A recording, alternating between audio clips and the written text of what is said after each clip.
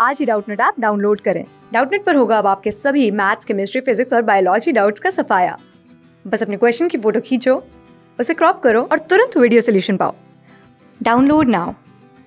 Hello friends, हमारे पास एक क्वेश्चन दे रखा है। इसमें बोला गया है कि एक कन्वेक्स लेंस है जिसकी फोकल लेंथ 20 सेंटीमीटर है और एक ऑब्जेक्ट है जो जिसकी हाइट 3 सेंटीमीटर, उसे प्लेस्ड किया गया है perpendicular to principal axis of lens at a distance of 10 centimetre from the lens. ठीक है?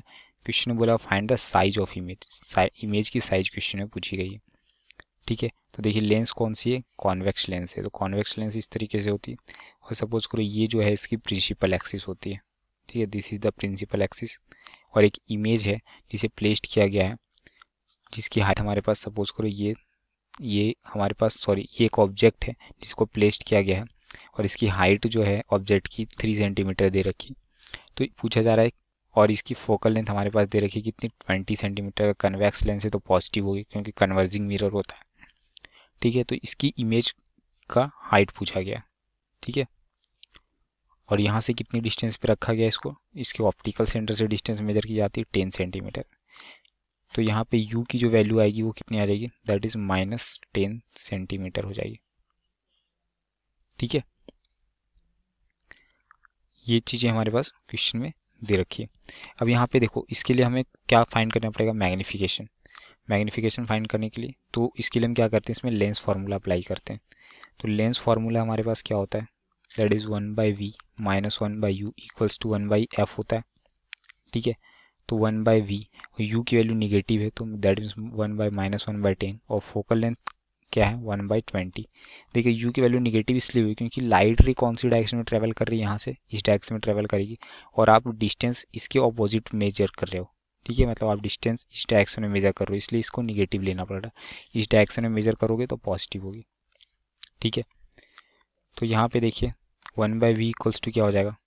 One by twenty minus one by ten ठीक है? तो एलसीएम आ जाएगा ट्वेंटी ये कितनी हो जाएगी? वन माइनस टू ठीक है? तो v की वैल्यू कितनी आ जाएगी? माइनस ट्वेंटी सेंटीमीटर ठीक है? ये आ जाएगी हमारे पास v की वैल्यू माइनस ट्वेंटी सेंटीमीटर मतलब आपका जो इमेज बनेगा, वो कहाँ बनने वाला है? वो कहीं यहाँ पे बनने वाला है। ठीक है? ये आई बनेगा। This will be height of the image h dash ठीक है? कितना सेंटीमीटर पे? ट्वेंटी सेंटीमीटर पे। अब हमारे पास साइज़ पूछा गया इसकी। ठीक है, अब ये ऊपर अब हमारे पास मैग्नीफिकेशन फाइंड करना है। तो मैग्नीफिकेशन जो होता है दैट इज़ एम वो क्या होता है? Height of image divide by height of object होता है, और वो होता है वी अपॉन यू के इक्वल ठीक है? तो h s upon h b की वैल्यू कितनी है? माइनस ट्वेंटी और यू की वैल्यू कितनी है हमारे पास? यू की वैल्यू है माइनस टेन ठीक है? तो एच डैस बराबर क्या हो जाएगा? Two times of h height of object और हाइट ऑफ़ ऑब्जेक्ट हमारे पास कितना है? मतलब साइज़ ऑफ़ ऑब्जेक्ट एक तरह से दैट इज़ थ्री सेंटीमीटर मतलब टू इंटू थ्री सेंटीमीटर तो h dash equals to six centimetre है। ठीक है?